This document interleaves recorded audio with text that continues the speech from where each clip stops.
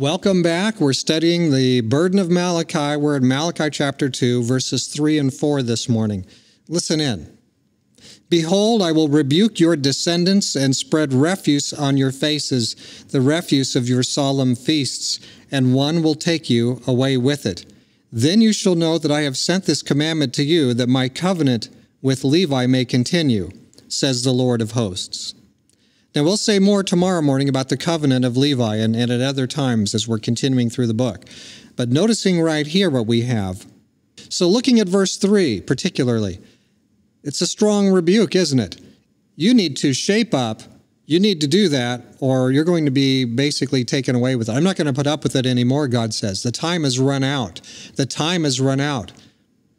I will rebuke your descendants the, the priesthood was a continuing thing and it's supposed to continue. The Levites are supposed to, it's supposed to go down to their next uh, male children coming up and so on down through the ages.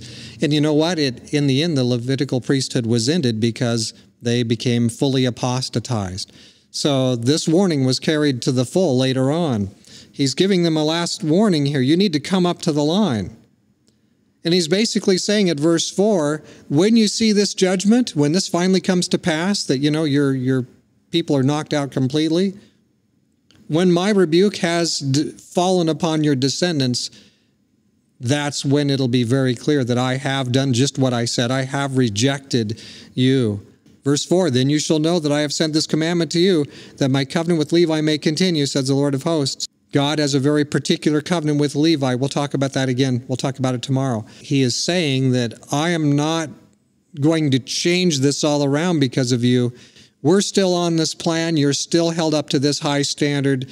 You may feel like sneering. You may feel like giving a mediocre offering. You may not feel like doing this thing. What you feel isn't going to matter in the end. What matters is my commandment.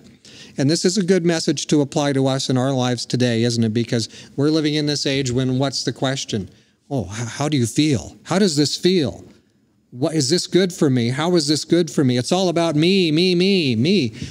But but the kingdom of God is not about me, me, me, me. The kingdom of God is about Jesus. It's about God's heavenly plan to transform us and help us to become unselfish, selfless people, little little copies of Jesus, very little, very far from the actual ultimate Jesus, but in some respects at least, echoing his life into the world. That, and God, that's God's purpose for us, and we can't throw that away. We can't put velvet on it. We can't chop it down or smooth it down or polish it down. It's just the way it is. It's not about how you feel, it's about what God's command is it's not a bad thing because the grace of God is, is ready to be poured out. Will we be willing vessels? Or are we going to be like some of these, these priests that never got it? They live cheap lives, and God finally utterly abandons them, as we see in verse 3. So let's pray about that. Dear Father in heaven, we want to seek you. We want to seek you more closely. We want to do your will. Oh Lord, please help us to uh, in the priesthood of believers to do what you'd have each of us to do. Help us to be faithful workers in our time and our place, just as you were calling these, these workers to be faithful in their time and their place. Lord, use us. Use us in spite of ourselves. Bring us, Lord, to where you can use us. Thank you for hearing our prayer. And now, Lord, we ask for this blessing. We ask for your help. In Jesus' name, amen. So God be with you through the rest of your day as you also are Malachi yourself, and I'm Malachi, his messenger. Let's be messengers of his goodness.